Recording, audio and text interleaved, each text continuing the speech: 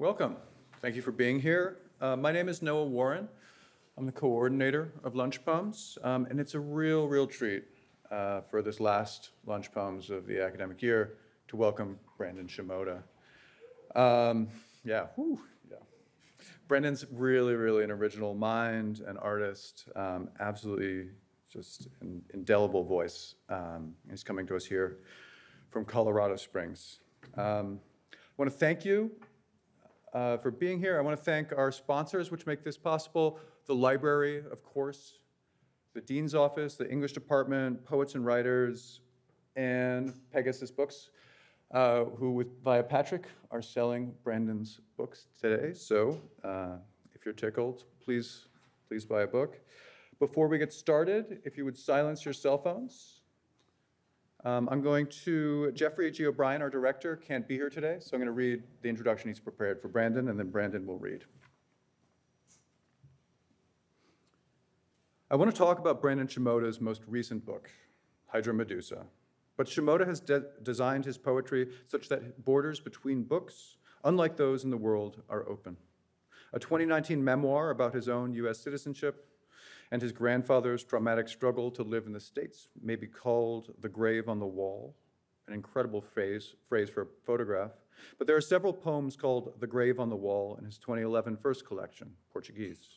2018 book of poetry is called The Desert, and there's either one or many poems called The Desert and Hydra Medusa.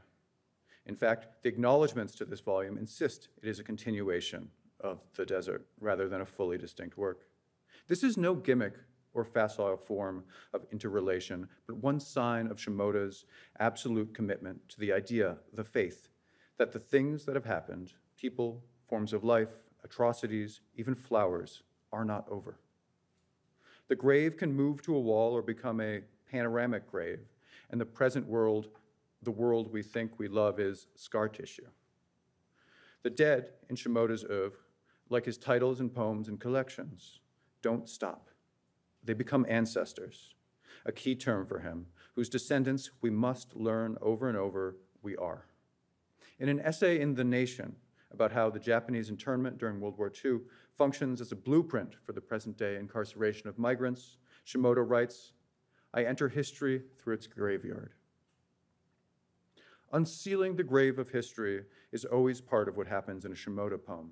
But in Hydra Medusa, poetry too is unsealed, made to share space with essays, including one in, on Japanese internment camps, which gives itself over, unable to be a single hermetic topic, to the narr narration of a murder of a Mexican teenager by a US Border Patrol agent. The inclusion of this writing in and among the poems of the collection insists that poetry happens in this often unfortunate world rather than in some privileged away space of inspired reflection and distillation and sanitization. That essay, called The Descendant, starts with a definition of the medieval notion of cruentation, a belief that a murdered corpse would spontaneously rebleed in the presence of its murderer. Shimoda's poetry may sometimes serve that function, but it is also full of the fecundity of ancestry. Its desert is far from arid, even if also a site of lost life and surveillance. The hydra of myth spouts more heads when one is cut off. Medusa's look makes, makes statues, and this is a book full of proliferation and joyous witness alongside its necessary documentary directness. His child Yumi appears and gives him the power to recast the world as only children can, such that he can say of her infant sight of water, her first water dark and fast, wigs of silver. Yumi's own words at two years old become poetry too and get their own page. We're almost closer. That's tree sap. No, that's a pineapple clearing. I hear sirens. I wanted a home. I wanted and wanted and wanted a home.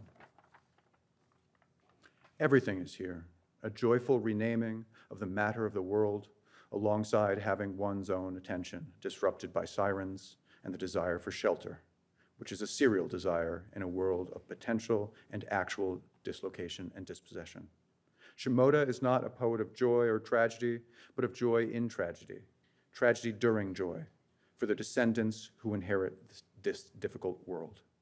Please join me in welcoming him and his work.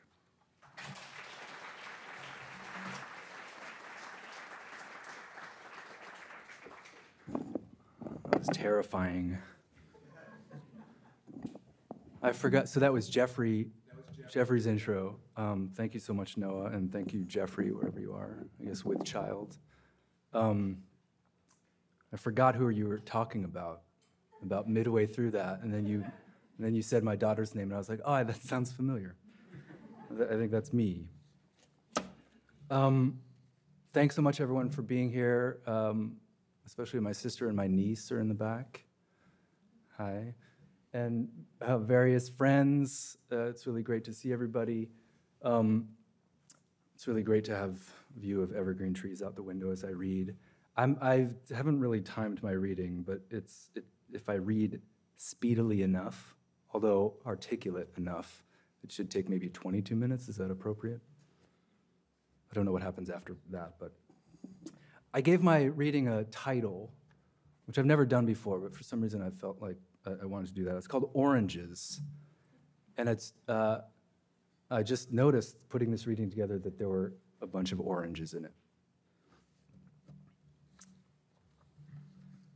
I had a dream last night that a rainbow was burning.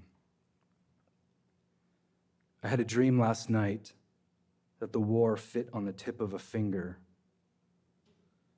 I had a dream last night that a scream did not need a hill to gather speed to reach the people. I had a dream last night that a shrine burned down and was replaced with a shrine, identical but empty.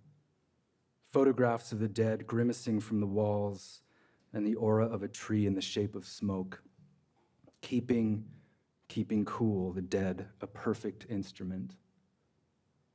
Innocence was emptiness the dead thrown into a milk tunnel could only scratch a simple shrine in a prism, a replica of a circumstance.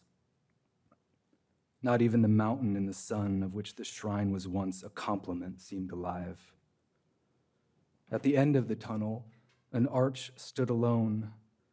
What it connected disappeared through the arch was a temple, yellow money exploding shadows that mimicked great grandmother faces, people sitting and watching life pass into a jar, youths, for example, eating ice cream. I wanted ice cream too, to sink into the arch, the small battlement, the colors on the temple roof, the corresponding fears of old women and men, with that memorial look which accompanies then defines the form of ghosthood that haunts the possibility of peace or the imploring of death. The shrine. I approached the altar, colorful with photographs of people I did not know, would never, but now I had seen them, as real to me as people I talk to but do not see, who are alive, loved, deserve to be visited. Strangers go all over the rainbow. Never settle. Do not situate before the gaze of one particular stranger. The dead were not gazing, they wanted it to be over, their reflection to be stronger, like a lunar sound materializing a hymn of thanksgiving to the missing. I had a dream last night that a man gave a performance in which he visibly aged. When the performance began, he was young. By the end, he was old. The stage was large. The space for the audience was small, no seats. The man walked to the foot of the stage and said in a low voice, My house. I had a dream last night. By last night, this, uh, this one I mean about five nights ago. All the rest of them were last night. I had a dream last night that I was visiting a neighborhood the size of a house. Or was it a house the size of a neighborhood? It was the most natural place in the ever diminishing earth of this life. I could see the sun inside the orange fruits on the, the thousand year old trees.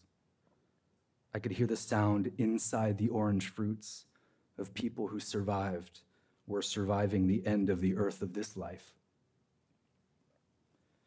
We're older now, free to sit like students again at tables made of tables that had once been broken for fire. I went towards the sounds. There was a doorway. I stopped before the doorway. Above the doorway, written in white paint, was the sign that said, Refaat Alareer, the poet, was here. It said, Refaat Alareer, the poet, was here. If this is a university, then right over there, he used to sit right over there at that table, is where he read Roots, is where he read John Donne, is where he read Footnotes in Gaza, is where he read Othello. Quote, I know a lady in Venice would have walked barefoot to Palestine for a touch of his nether lip. Emilia says, is where he read Alice in Wonderland is where he read the autobiography of Malcolm X three times. At that table is where he held his head above the poem and his body underneath the poem, and the poem at the height of his heart, and watched the poem so closely put the table back together, entire families could fit around it, entire generations wrapping around the faces of their children like a clock tells time in feet underneath the concrete, where a burnt moon draws thousand year old orange trees back into infancy, to remember the ancestors sit on a hill and talk speechlessly with each other as they watch over the future. Each family member gathers the pattern of resistance that will never relinquish their keys. You could sit there at a distance, even, but could you pick up where the poet left off by imagining the poem growing again soon enough inside the body, still underneath the city, chewed by 1,800, 2,000, and 500 500 pound bombs, the way it used to be, standing? Even though I could see in the dream the edge of the table I stood before the doorway and, hesitating to walk underneath the poet's name, looked up. Free Palestine. The poet was in the school. Evacuate the school, a voice from the sky said. We are going to bomb the school, the voice said from the sky. We are going to eliminate the school, the voice said. Go home. So the poet went home to his brother to his sister, to three of his sister's children, his father's, so they bombed the home. The poet fell into the home, and through it is where everyone lives in defiance of the whole. That opens when the talents of history are uprooted like trees, orange, olive, ancient eggs from the future, and suddenly life is transposed, is transparented with no life the training of no life, compulsory no life, the personification of US manufactured chemicals and confessions and bombs like petrified hearts beating with no life. We're trying to stop his poetry. We're trying to prevent his next poetry, in which the true voice would sing plainly, but the poet sang it already. The words like knots in a knife coming undone. Because, except there was no next. Because, except for conditioning the mind to be always on edge and always on time, rematerializing on the other side of the intensification, the fatal identification of the poem now lives everywhere. Excuse me.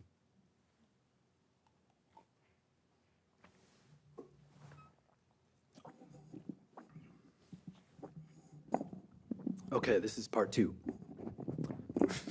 that was part one. Um, this entire section is based on, uh, is Nancy Ukai here? So it's based on a story I think originally my friend Nancy, who's in the back, told me about. Um, well, I'll explain it, but it's, it's about this phenomenon that occurred in the sky above the Topaz concentration camp in April of 1943. I'm going to read um, this first part is prose, and it's from a book that's coming out soonish from City Lights, and it's about the afterlife slash memory of Japanese American incarceration. And that's going to transition into a series of poems that are about this, uh, what the prose is, is describing. The poems are also going to be talking about. Hinotama. One evening many years ago, but not so many years ago, a Japanese man out for a walk in the American desert saw a rare and unusual flower on the far side of a barbed wire fence, and leaning closer to look at the flower was shot in the heart. Rare and unusual flower, that's from Julie Otsuka's When the Emperor Was Divine. In the days following the murder by a white military police officer of James Hatsuaki Wakasa, the prisoners in the Topaz concentration camp in Utah, Japanese immigrants, Japanese Americans, saw in the sky above where Wakasa died Hinotama, balls of light. 81 years ago next week, April 1943. Kiyoshi Katsumoto, seven at the time, lived in the same block as Wakasa, Block 36, on the corner of newly minted Cinnabar Avenue and Greasewood Way. He and his friends were playing after dinner in the twilight, he told me, when they saw an orange white ball bouncing around the sky. What did it look like? I asked him. It had jagged edges, he said. Like flames? No, not like flames. Was it translucent? No, it wasn't translucent. Was it solid? No, it wasn't solid. Was it windy? No, it wasn't windy, Kiyoshi said. It was perfectly clear. And to those who were not there, impossible to see clearly. The Hinotama bounced for several minutes, then disappeared. The following night, same thing an orange white ball with jagged edges bouncing for several minutes around the sky, then disappearing. More people saw it the third night, several minutes, then silence, even more the fourth night. Tamashi, the elders said. Hinotama were attributed to premonitions of death, the presence of ghosts, the release of energy after someone died. Sometimes a gas is produced when there is no space in which to contain something as voluminous as grief. But Kiyoshi and his friends, happy, at least momentarily, were not aware, not yet, of grieving, certainly not of contributing their share of grief to the larger camp wide orchestration. Hinotama, as anthropologist Marvin Opler, uh, thanks to Nancy, who introduced me to anthropologist Marvin Opler, notes, grew in time of community distress. They were also reported in the Poston and Tule Lake camps and in the camps in Canada, too. The kids in school said that when old Honma-san died in Bay Farm, there was a ball of fire that came out of the house and then moved off up the mountain writes Joy Kogawa in her novel Obasan. The translation of an individual life into a collective death was, on the edge of Topaz, immediate. The Japanese Americans saw in the Hinotama the violence inherent in what was being delivered to them as safety and were bound to one another in that illusion. As Kiyoshi was talking, I could see in his face the face of a boy three quarters of a century younger. It was not only the face of a boy looking up at an orange white ball, but a face the orange white ball was looking at as it bounced around the sky. Bounced, that is, with the faith and the affection of that face. And I thought in that moment that maybe the Hinotama was the 2,000 pound stone in the past. That the Japanese Americans were looking at something like a star that had already burned out and with that, they were time traveling. Hinotama, the concentrated dawn of the dead's afterlife, a period an appearance which often requires the strength, however silent and unassuming, of the living to be illuminated. Hinotama, the celestial manifestation of the grief of the Japanese Americans. Poetry. Hinotama. There is a simpler, more pristine life inside the ball of light bouncing above the barbed wire fence, a small incision made in space through which an entirely new fashion of human being is spying on the people, incarcerees, we are supposed to call them. That is the signal of their expendability, the striving of the human that makes the ball of light a planet fallen to a simpler, more pristine life, pressing the startled faces together to describe the ephemeral achievement of collective entrapment, the loss that is constant and rapid. Hinotama. James Hatsuaki Wakasa became upon death emblematic of every person in camp. And because the conditions and coordinates of his right to live were defined by the white man in the tower outside of Camp 2.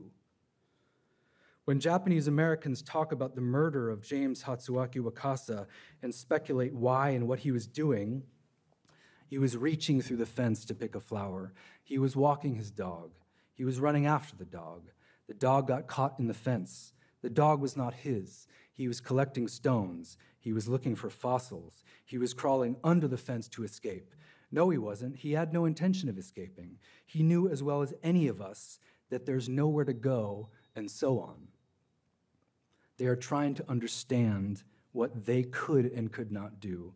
They are trying to understand the exposition of their death. When white people talk about the murder of the Japanese man, they are not outlining the conditions of their freedom. They are not imagining themselves in place of that man. They are trying to understand why people are murdered, not why they are the white man in the tower. Hinotama, the ball of light that bounced above the concentration camp held in his patience the memory of the unusual flower the Japanese man was reaching for when he was shot. He was born to breathe, to breathe to give life, to breathe to give life to friendship. The Japanese man had sensitivity and must have thought in that desolation that he had been struck by a heart. The feeling of wind watching over him, spring. Okay, I think this is part three. Um, so the the book on Japanese American incarceration that's coming out. Um, for a, a, a, big part of it, I interviewed um, maybe 250 people, many of them in person, over Zoom, um, and via questionnaire. And one of the questions I asked so the people I interviewed were all um, survivors and descendants of, of the prisons and camps. And two of the questions I asked were where do the ancestors gather? And where do you go, where do you go to be with them? So this next part is just people's responses to that question. Where do the ancestors gather and where do you go to be with them? In the morning, said Sesshu Foster. When I look in the mirror, said Satsuki Ina. Within me, said Emiko Omori. Always within me, said Ken Mochizuki. Within myself, said Carly Ikeda Lee. In myself and outside of myself, said Tiffany Koyama Lane. Inside and outside of my mind, said Heather Nagami. In my mind or heart, said Brittany Arita. In the luminous center, my heart, said Mike Ishii. In my blood, said Sarah Onitsuka. In the air, said Chelsea Oda. In the ether, said Alden Hayashi. In our earth, said Esther Honda. Alone on a walk, said Jean Sakata. Where there is nature and stillness, said Alyssa Kapaona. Where there are stones and gardens, said Nancy Ukai. In the garden, said Mia Summers. The ocean, said Darren Wakasa. Meditation, said Kei Tabe. Through reasoning, questioning, looking for meaning, said Maggie Tokuda Hall. Answers, but more often ways into questions, said Aaron Aoyama. Inward thinking, said Kyle Shoji Toyama. In my thoughts, said Rick Noguchi. In my thoughts and memories, said Nikki Nojima Louis. In our memories, said Christine Aono. In my imagination, said Marlene Shigekawa. In spaces of ritual and remembrance, said Casey Hidekawa Lane Levinsky. The resting places of, their, of the, their bones, said Koji Lau Ozawa. During Obon, when I dance, said Ellen Bepp. When I raise a picket sign, said Troy Osaki.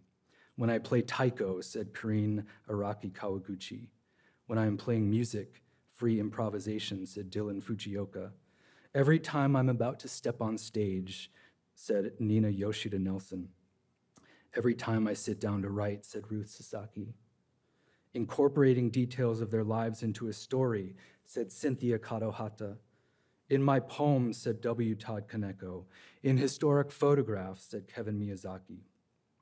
In the frames of photographs and films, said Renee Tajima Pena. In the archives and within my queer, speculative films, said Tichi Takemoto. In dreams, said Madeline Mori. In the spiritual world, said Patrick Shiraishi. In the afterlife, said Aaron Sutsumoto. If they sense we need their presence, said Duncan Ryuken Williams. When I light green incense, said Morgan Ome. When I close my eyes at the sound of a deep, round bell, said Sean Miura. When I touch the beads and the candle goes out, said Brian Komei Dempster. I am with my ancestors, said Masako Takahashi. We visit and talk with them more often than when they were alive, said my father, Dori Shimoda. They try to talk to you, but you don't understand, said Karen Ishizuka. You listen anyway with all your might. Through changes in light, said Star Miyata. Whenever I take time to look at the moon, said Donna Nagata. I had a dream last night that I took my daughter to visit her great grandfather's grave. When he got there, his grave was gone and had been replaced with a white obelisk. My daughter sat down in front of it and, as if knowing exactly how to behave, closed her eyes.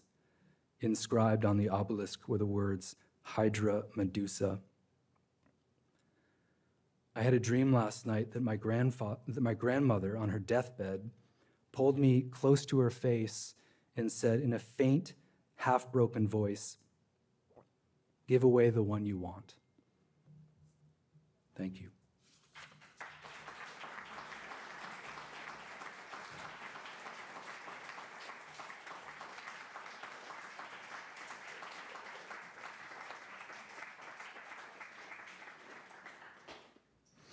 Brandon, um, rarely is precision more numinous than it is in a room with you or on your pages. Um, I think you give us elation and you offer us a kind of perpetual challenge. Um, thank you. That was a really moving reading. Um, thank you all for being here. Um, wow. If you were challenged or elated by Brandon's reading, his books are uh, with Patrick back there, and I highly encourage you to pick one up. Um, this is the last Lunch Poems reading of the academic year, but if you're in a poetry uh, groove now, Ocean Vuong is in conversation with Cathy Park Hong tonight and then reading tomorrow night, both at 5 p.m. I'm unsure if tickets are still available, but there is a live stream watch party in Maude Fife uh, both nights. And Fady Joudah is going to be reading uh, in Maude Fife in Wheeler also next Monday. Um, on another note, this is my last uh, Lunch Poems reading as coordinator. Uh, it's been really a special five years. Um, some of you I saw before the pandemic, and then we weathered a couple years on Zoom. But thank you all for keeping this series as vibrant as it is. And is Camille here? Camille Considine um, will be taking over as coordinator next year. Uh, so thank her, and you're in good hands. Thank you all.